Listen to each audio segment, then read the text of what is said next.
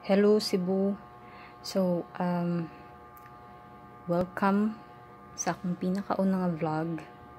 Actually, ang main reason yun nga nag-vlog ko kay gusto ko i-share sa inyo ang Human Nature products kay na-impress kaayo ko wala akong nag-expect trust um, cause ang pinaka-purpose ra gyud kay trial lang gid nako ang ilahang shampoo tungod sa akong grabe gid nga hair fall nya murag over naman yung hair fall ni uy so murag syempre tagos maupaw ba? So nagsuway-suway ko og uh, search online. Kay nakalimot mo ko sa brand name atong ads ni si Marian man siguro to. Basta kay Human Nature man ato nga shampoo. So nag-search ko online sa Google. Then pagkakita na ko sa Human Nature so na-recall na din ako umo ni siya nga name. So pero gipili na ko ang dagaman sila sila smaller bottles. Like regular size nga bottles sila ang shampoo. But gipili na ko ning 1 liter kay para di ko mo sig order online kay nabay bayad sa shipping. So um, kani siya. Tapos um, oh by the way ang ibutang nako sa nagkuan ko nag deal na lang ko sa Human Nature kay para maka-discount pud ko. So um, kung interesado pud mo i-click lang ninyo na, na ang link sa description ani nga video. I-click lang niyo din na basta green pink siya nga store sa Human Nature ila mo kong gibuhat nog replica sa ilahang online store para nga you know, less hassle sa ako ang part na mag-order sila na bahala mo process. So, baro ko interesado pud mo, ina lang ko kay uh, tudluan tamon saon. Um, but anyway, going back. So, mo to siya shampoo gitong hinungdan. Unya kay naman pud siya condition na may nakabutan sa description mas nindot siya parisa ni matong uh, sa ito pangalan term ito nila ay more naman to somewhere here sa pangitaon ha? Rosemary essential oil. Sa nindot to i-pair sa rosemary essential oil. E kanang sa kaninga kaninga conditioner kina daw rosemary san um uh, to rosemary essential oil. Mag amo ko maklaro ninyo uh, kana rosemary essential oil. So mo to nga nya kay wala may 1 liter ani nga amot ka karon ha kay wala pa na na check recently pero kato nga time nga nag-order ko um, 500 ml pa lang available. Nya 1 liter biya akong shampoo. So ako na lang pong gi, gi 1 liter ni siya. Nya 500 ml times 2. Syempre, kuan 1 liter na siya. Parang patas ba niya. Um, pagka humanaan na, na remember po na ako si Kog sige Kog explore sa ilahang online store. And then na kita ako yung sunflower oil. Na recall na ko to akong kanang yun sa akong friend niya. Pagtanan ako sa description 25 miracles da kuno ang kaninga ang mabuhat ani nga sunflower oil which tinuod eh, abot hawa na ko na try ang uban din ako ma-realize sa mga miracles. Pero and ano dito ang list sa miracles? Pero gitryan ako siya. And uy kanang kuan ay di na kakinahanglan mag lip tint lip tint sa imong cheeks. Kay murag mo gawas bitaw ang kanang natural bitaw nga skin nga murag mo pinkish ang imong face. Nya ako nang ako mo di lang pud nako siya ginamit sa akong face. Ginagamit pud nako siya sa akong liog din sa akong siko sa ako ang tuhod ug sa ako ang tikod. Kay kanang naman po sa description nga makatabang po siya mo soften something ana pero ang ako agid pud para nga murag mo glow pud ba mo, glow pud ang skin ba na, na natural siya tan-awon So, amazing kay siya niya. Pagka magka-pimples, pero ako usually, di ba, magka-dark spots man siya.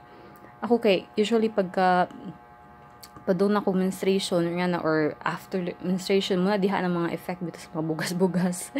Sa ako ang usually sa akong agtang ana or sahay sa kilid sa akong aping niya.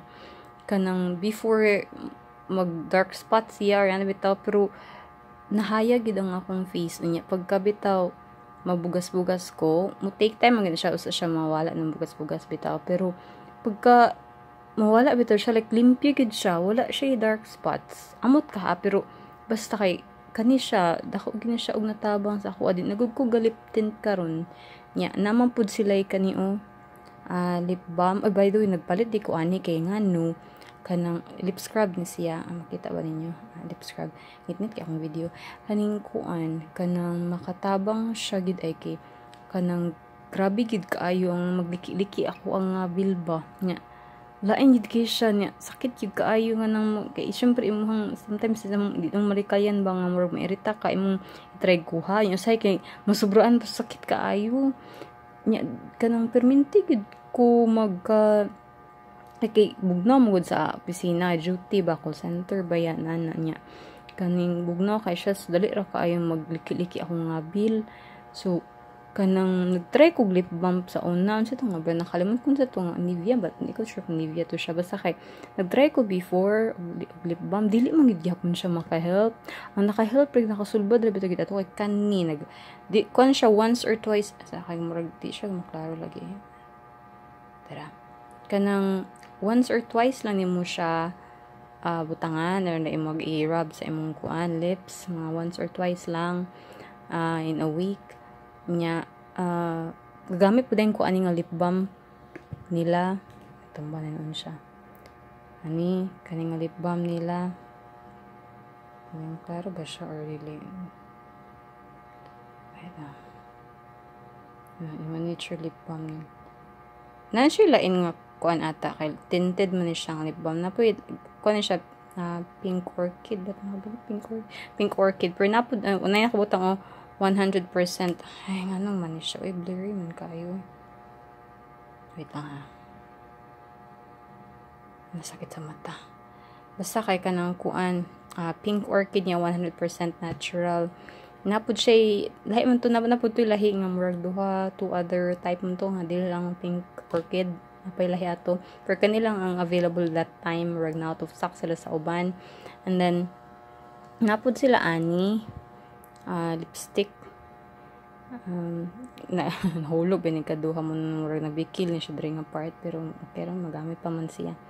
Anya kuan ay nade sila lahi nga sunflower oil pod. Looks something nahugon ni siya nabuak bin sa kilid kay nahug siya ba pero wala akong gilabay kay may gani kay gamay na lang to siya. Usa pa na yab niyabo dagan pa ko nagamit gihapon kay daghan man to sa siya nabuak. So mga gamay na lang bilin sa siya nabuak niyabaan gid siya pero still murag ka ng murag ani kadaghan siguro ang nayabo pud kay nabilin ba? May ana kadaghan.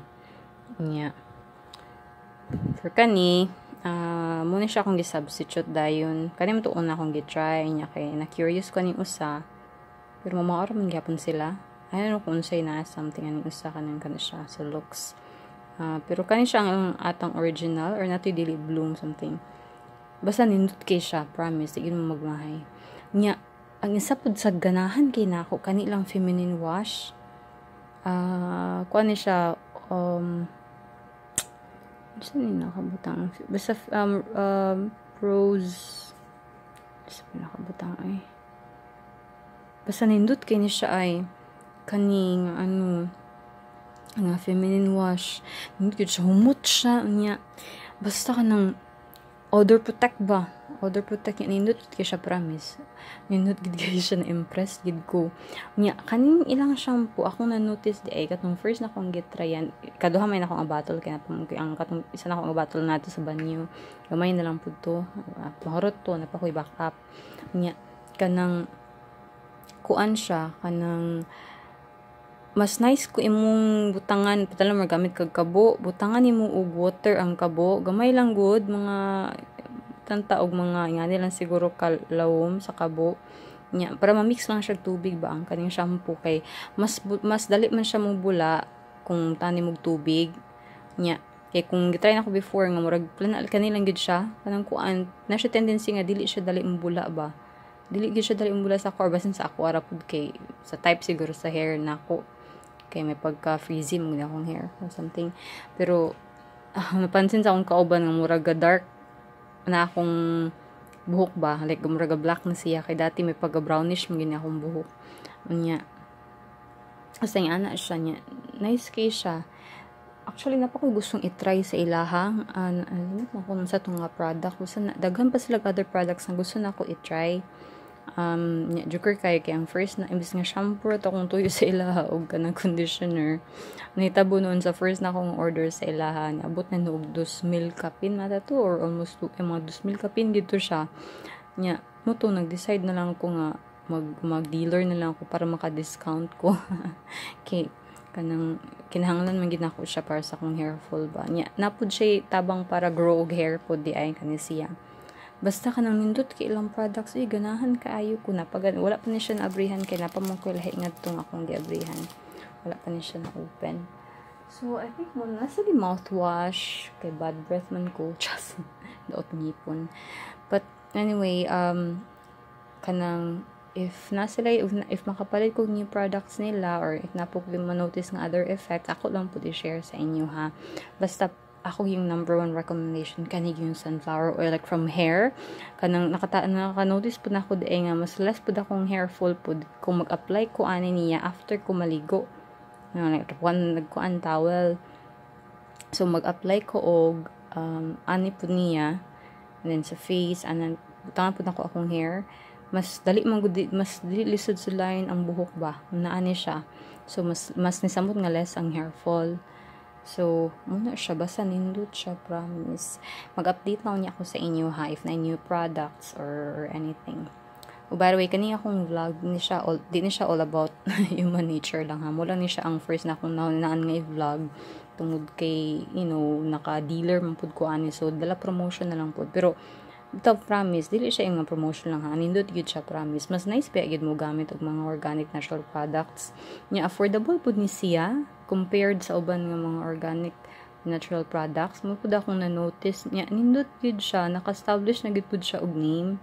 Kay sila man atong first sa to um nakalimot ko sa term ato basta naa sila award something pinakaunang award nga dawat sa usa ka murag um company nga deal og natural organic products ba? Sila pang pinakaon naka-award ato. Niya basta mo ni siya nindot siya kaayo so more na siya for now. I'll update you if soon kung na ako products nga na try sa ilaha thank you